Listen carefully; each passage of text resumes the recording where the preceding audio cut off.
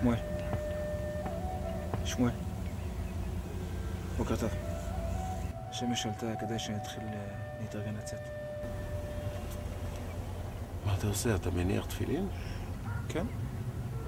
מאיפה אתה יודע? יהודי, לא?